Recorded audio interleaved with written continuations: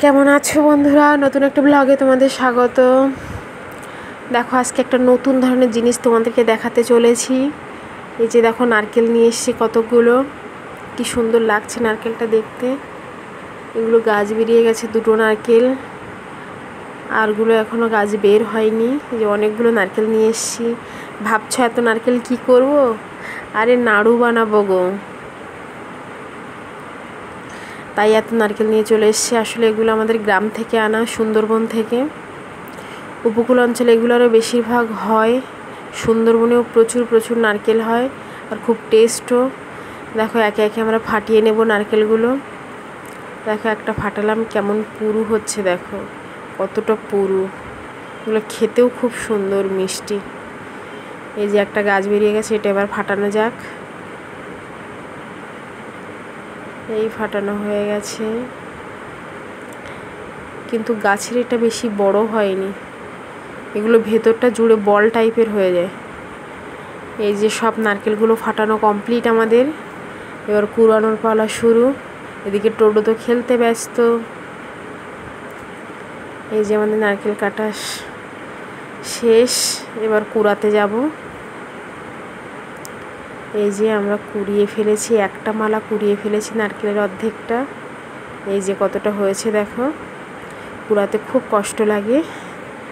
আর আমাদের রাতও হয়ে গেছে নারকেল নিয়ে বসতে। এই যে অবশেষে সবটা কুড়িয়ে ফেললাম একে একে, মাও কুড়াচ্ছে ওদিকে। এই যে আমাদের কুড়ানো প্রায় কমপ্লিট। সবগুলো কমপ্লিট হয়ে গেছে। এতটা নারকেল হয়েছে, দেখো বন্ধুরা কতটা নারকেল কুড়িয়েছি। এই যে নারকেল নিয়ে রেডি।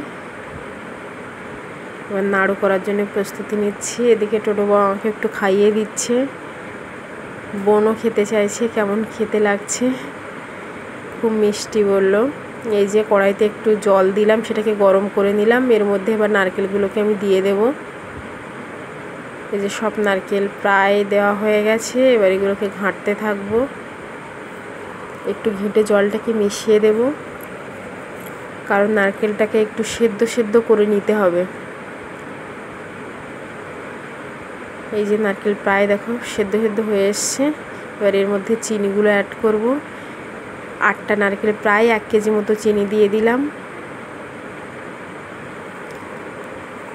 দেখো বন্ধুরা, চিনিগুলোকে খুব ভালো করে মিক্সড করে নেব।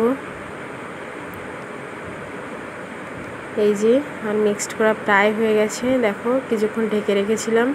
এবার প্রায় সেদ্ধ হয়ে গেছে। একটু একটু তলায় ধরে ধরে যাচ্ছে।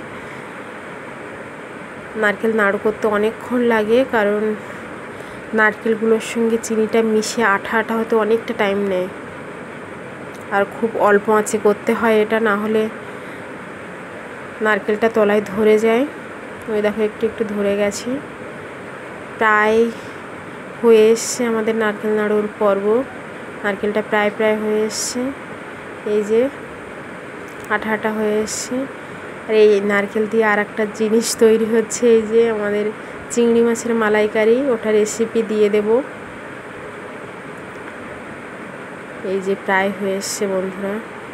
আর এর মধ্যে কটা ছাড়িয়ে রাখা এলাচও আমি দিয়ে দিলাম। খুব সুন্দর একটা গন্ধ বের হয়েছে, নামিয়ে নিয়ে চলে এসছি, দেখো। তো মা, বোন, আমি তিনজন মিলে বসে গেলাম নাড়ু পাকাতে। এই যে নাড়ু অবশেষে আমাদের পাকানো কমপ্লিট কুলার মধ্যে মা একটা কাগজ দিয়ে দিয়েছে, তার মধ্যে নাড়ুগুলোকে সাজিয়ে রেখেছি। অনেকগুলো নাড়ু হয়েছে, খুব সুন্দর টেস্ট ধন্যবাদ বন্ধুরা ভিডিওটা দেখার জন্যে, পাশে থেকো সবাই।